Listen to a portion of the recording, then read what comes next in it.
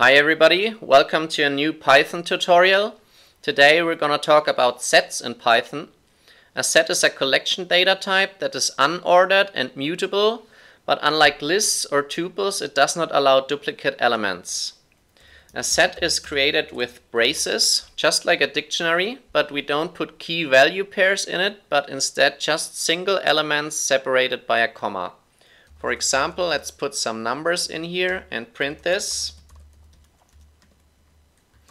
then we will see our set here. And if we put, for example, another 1 and another 2 here and print this again, then we see that only one of each element is kept because a set does not allow duplicates. We can also use the set function and use an iterable here. For example, let's use a, a list here. This will also create a set or we can use a string here for example hello. And if we print this first of all we see that the order is arbitrary because a set is unordered and the order is not important. And we also see that there's only one L in our set. So this is a nice little trick to find out how many different characters are in your word. Now if you want to create an empty set and you do it like this, just with the braces, then you have to be careful because now if you have a look at the type of this, then we see that this is recognized as a dictionary. So if you want to have an empty set, you have to do it with the set method. Um, a set is mutable, so you can change it later on. So now we can add elements, and we do this with the dot add method. So let's put in some numbers here.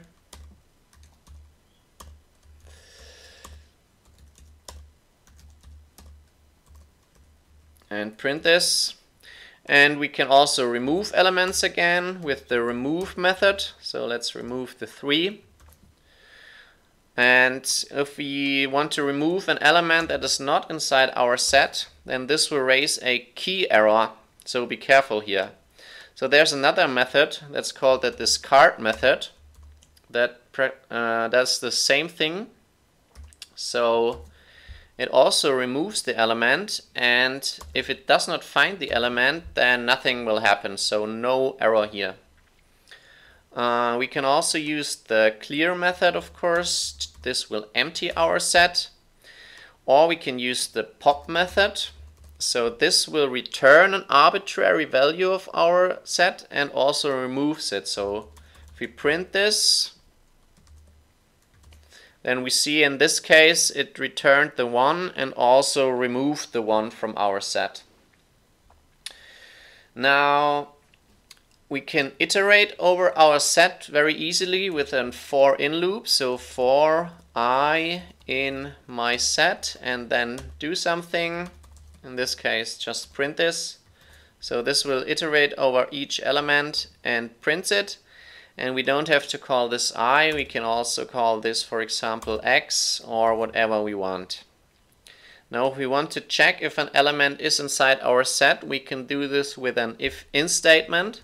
So if one in my set and then we print yes. So the one is in our set the 2 is in our, our set. And if we check, for example, for the 4, then nothing gets printed. Now, let's talk about union and intersection.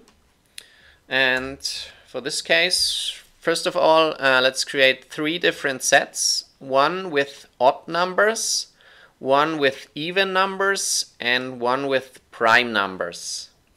And now we can calculate the union. So the union combines elements from both, from two sets without duplication. So let's um, calculate the union of odds. And we do this with dot union and then as an argument the second set, so evens and print this then we see that now we have all the numbers from 0 to 9.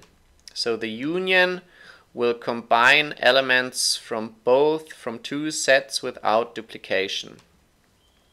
We can also calculate the intersection of two sets.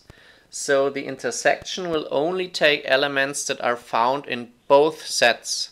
So if we say the intersection equals odds dot intersection evens and if we print this then we will get an empty set because um, odds and evens don't have the same elements. Now if we calcu calculate the intersection of odds and primes, we will get all the prime numbers that are also odd, so 3, 5, 7. If we calculate the intersection of evens and primes, then we will get back only the even prime numbers. So in this case, only the 2. Now we can also calculate the difference of two sets. So let's create two different sets again. Set A with numbers from 1 to 9 and set B with, with 1, 2, 3, 10, 11, 12. Now the difference um, will return a set with all elements from the first set that are not in the second set. So let's call call it diff equals set a dot difference set b and print this. Then we see that we will get back the numbers from 4 to 9 because it, it takes the elements from our first set but not the ones that are also in the second set so only from 4 to 9 so if we do it the other way around set b dot difference set a then it will take 10 11 12 but not these three numbers because they are also here so then there's a second different method, uh, second difference method that's called the symmetric difference method. So the symmetric different method will return a set with all the elements from set A and set B, but not the elements that are in both sets. So again, so it takes 4, 5, 6, 7, 8, 9 from set A and 10, 11, 12 from set B, but not um, 1, 2, and 3 because they are in both sets. So if I use set A, symmetric difference set B, then this is the same thing. Now, uh, union and intersection and the difference method that I just showed you, they will not modify the original sets. They always will return a, a new set, but we can also uh, modify our sets in place. So for example, we can say set A dot um, update set B and now print our set A then we will see that um, this updates the set by adding the elements that are found in another set. So without duplication again, so it does not add 1, 2 and 3 again, but it adds 10, 11 and 12. There's also a intersection up, uh, update method. So set a dot intersection update set b and what this does, it uh, updates the set by keeping only the elements found in both sets. So only 1, 2 and 3 are found in both sets. So only these numbers remain in our set. Then there's also the difference update method. So set A difference update set B and if we print this uh, we will see the numbers from 4 to 9 because difference update, it updates the set by removing elements found in another set. So it also it found it finds 1, 2 and 3 in the set B, so it removes these numbers from our set A. Um, and then there's the symmetric difference update. So um, this updates the set by only keeping the elements found in set A and in set B, but not um, the elements that are found in both.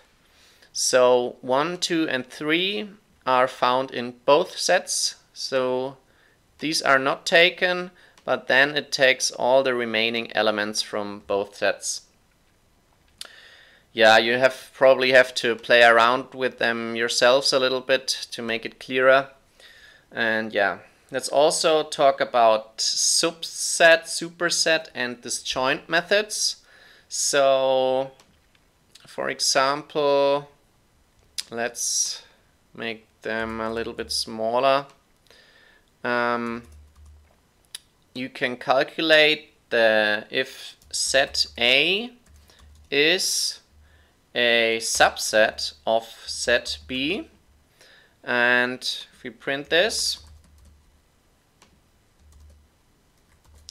then this will return false because subset means um, that all the elements of our first set are also in our second set. So if we use it the other way around, set B is a subset of set A, then this will return true because 1, 2 and 3 are also in the second set. And the opposite is called the superset method. So is superset. And in this case, it returns false because um, a superset returns true if the first set contains all the numbers or all the elements from the second set. So set B does not contain 5, 4, 6, so it's not a superset, but set A is a superset of set B because it contains 1, 2 and 3 and we can calculate if two sets are disjoint. So um, disjoint returns true if both sets have a null intersection, so no same elements. So set A is disjoint set B and if we print this, this will return false because they have same elements. And if we create, for example, a set C and put 7, 8 in here and check set A is disjoint with set B, then this will give us true. Now let's briefly talk about copying two sets. If you have watched the previous episodes about lists, for example, then you already know this.